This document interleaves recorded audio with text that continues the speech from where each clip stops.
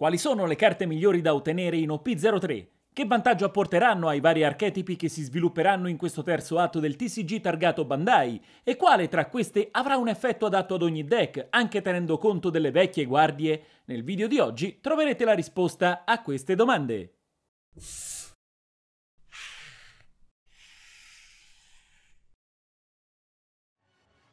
Signori, bentornati sul canale con il nostro consueto appuntamento settimanale. La data per il pre-release di Pillars si sta avvicinando e con essa anche l'arrivo di nuove carte che rivoluzioneranno il gioco. Infatti i nuovi tester hanno iniziato a provare i nuovi archetipi che vedranno Katakuri e Big Mom fare la loro comparsa sui campi di battaglia, con Zoro, Barba e Lucci, nuovo leader nero, che assieme a Nami, rappresentante in entrata del blu, andranno a dare il bentornato o benvenuto a nuovi deck che sono certo appassioneranno numerosi aspiranti il Re dei Pirati. Ma un mazzo trova la sua potenza nei singoli che, messi assieme, vanno a creare una sinergia più o meno potente e nel video di oggi andremo a prendere in considerazione quelle che, secondo il mio personale parere, saranno le 10 carte più interessanti nello 03 che rappresenteranno quegli elementi must have da possedere ad ogni costo. Prima di iniziare volevo invitarvi ad iscrivervi. Per voi è solamente un click, per il canale invece è molto importante. In questo modo crescendo si riusciranno a portare contenuti sempre più interessanti e ricercati.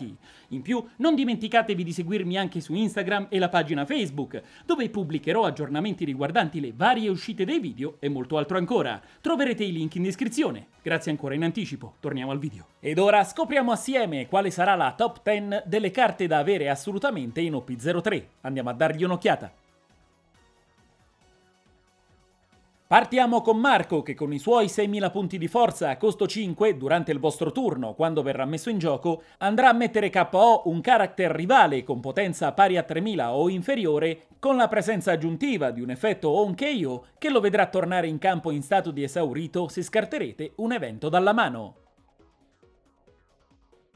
La Fenice sarà di sicuro un elemento più che presente nel mazzo di Barba Bianca, andando ad affiancare la sua controparte blocker nei deck con prevalenza di tratto White Bear Pirate. Non sarà comunque da escludere il suo slot dedicato negli Zoro Leader, dove potrà fare la sua comparsa nelle liste più esotiche. L'evento Fire Feast a costo 3 vi permetterà nella fase principale di distruggere un character con forza pari a 5000 o inferiore ed uno con potenza pari a 4000 o inferiore rivale se scarterete una carta event dalla mano. La presenza di un trigger inoltre vi consentirà di innescare la prima parte dell'effetto principale senza però dover scartare carte. Davvero molto forte, dato che in questo caso si avrà un degno successore dell'oramai famosissimo Jet Pistol che, se giocato assieme al pugno, darà martirio alle linee di combattimento rivali. Kaya, con i suoi 0 punti di forza a costo 1, potrà rappresentare una scelta azzardata, ma in previsione dell'arrivo del Mill di Nami il suo effetto potrà tornare più che utile. Infatti non appena verrà impiegata in campo vi farà pescare due carte dalla cima del deck per poi farvene scartare altrettante dalla mano. In più con i suoi 2000 di counter potrà tornare utile in più occasioni durante un match, sia per velocizzare la strategia di gioco del deck o per difendere il leader da assalti rivali. Sangis Pilaf a costo 3 sarà un evento che nella vostra fase principale vi permetterà di pescare due carte dal deck, con effetto trigger annesso che attiverà l'abilità principale. E così anche One Piece avrà la sua Anfora dell'avidità. E parlando di carte che si adatteranno a qualsiasi mazzo dalla 0-3 in poi, dando uno sguardo anche ai set passati, Pilaf incarnerà alla perfezione questo concetto, utilissima a qualsiasi deck che coinvolgerà il blu nelle proprie dinamiche di gioco. Kaku a costo 5 e 6000 punti di forza rappresenterà a tutti gli effetti un'evoluzione di Kobe. Infatti una volta che verrà giocato vi consentirà di riportare in fondo al deck dalla pila degli scarti due carte contratto CP posizionandole nell'ordine che vorrete, per poi andare a mettere KO un character avversario con costo pari a 3 o inferiore. Con la giraffa quindi non ci saranno privazioni ma solo vantaggi, una validissima arma da impiegare magari proprio in combinazione con Kobe stesso. In che modo? Giocando Kobe potrete scartare una carta contratto CP per innescarne l'effetto, per poi magari nella vostra fase di counter utilizzarne altre per difendervi dagli assalti rivali. A quel punto, impiegando Kaku, potrete reintegrare le carte che avrete scartato barra utilizzato nei turni precedenti per nullificare il danno proveniente da Kobe, sfruttando in più al 100% l'effetto del membro dell'allora CP9. Lucci con 7000 punti di potenza a costo 6, quando entrerà in gioco, riproporrà allo stesso modo di Kaku la prima parte del suo effetto, con l'unica differenza che, nel caso del leader dell'organizzazione segreta manovrata dal governo mondiale, esso guadagnerà un pericolosissimo rush. Character di grande rilievo, soprattutto perché fornirà un fattore velocità non indifferente al nero, cosa che prima della sua comparsa non era presente tra le fila delle tonalità che ha visto la Marina aprire le danze in OP02.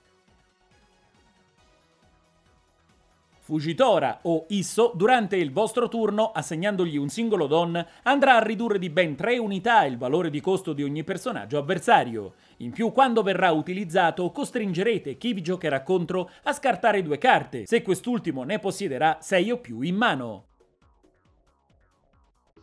Con 9000 punti di forza a costo 8, inoltre, di certo rappresenterà una presenza davvero molto importante sul campo di battaglia, da sferrare contro le difese nemiche turno dopo turno.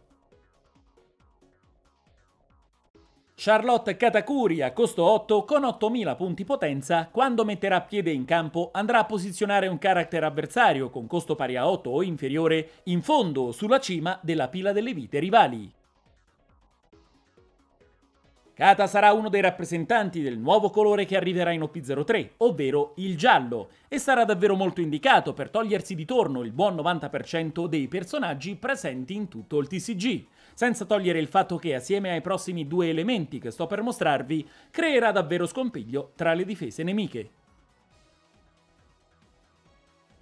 Charlotte Perospero, quando verrà messo KO, vi consentirà di visionare le prime tre carte dalla cima del mazzo, rivelandone una tra esse contratto Big Mom Pirate da aggiungere alla mano, riposizionando le restanti due in fondo al deck nell'ordine che vorrete.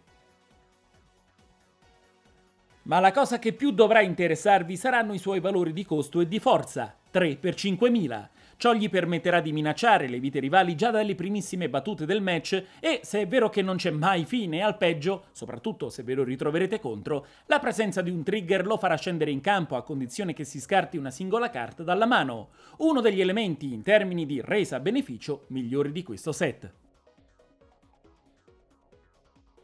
Infine arriviamo a Charlotte Lin Lin, che con i suoi 12.000 punti di forza a costo 10, quando farà la sua comparsa sui campi di battaglia, se il leader del mazzo possiederà il tratto Big Man Pirate, andrà a posizionare una carta dalla cima del deck nella parte alta o bassa della vostra pila delle vite, scartandone di seguito una da quella avversaria. Cosa non dire se non devastante in late game? Il suo effetto sarà letteralmente troppo, soprattutto se ne giocherete tre una dopo l'altra, turno dopo turno.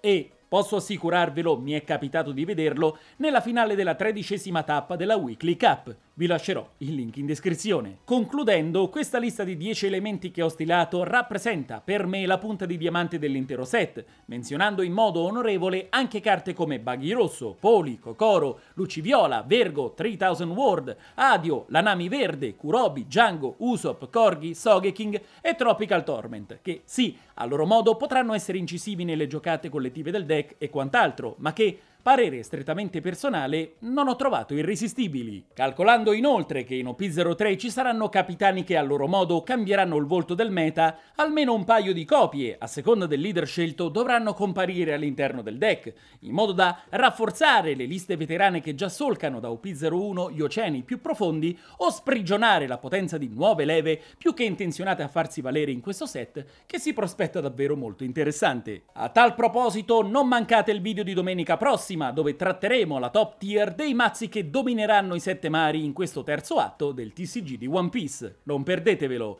E voi, quale colore giocherete in Pillars of Strength? Come sempre, fatemelo sapere nei commenti. Mi auguro che questo video sia stato di vostro gradimento. Prima di salutarci vi invito a cliccare qui a sinistra se vorrete scoprire altri contenuti interessanti legati al mondo dei TCG. Vi ringrazio di essere stati in mia compagnia, noi ci vediamo al prossimo video.